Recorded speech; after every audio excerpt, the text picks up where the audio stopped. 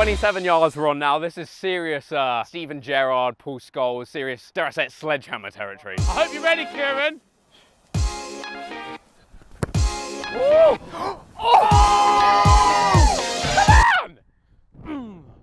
I What we couldn't see. saying? Was that, We saying that was nice? He won't settle I with that. will do- well, I- well, I- I, I don't think that he will settle with that. I think maybe we look at that. We can run it back. Can I say I didn't? I could only. I didn't see Yeah, the we call. Let's I- judge it. Let's judge it. Video assistant referees. Oh, which will we're, make oh, that clear. 100% we're taking that. Goal given.